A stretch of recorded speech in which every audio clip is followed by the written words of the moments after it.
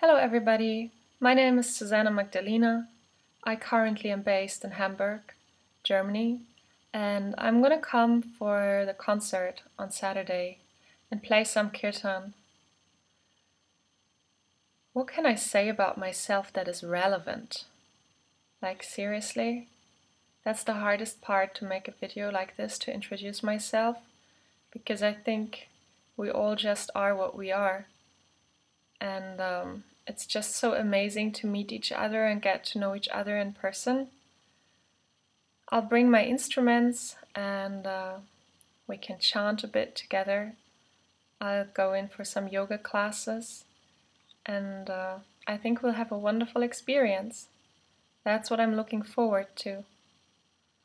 Big hug to all of us and I love all of us. Satnam. Mwah.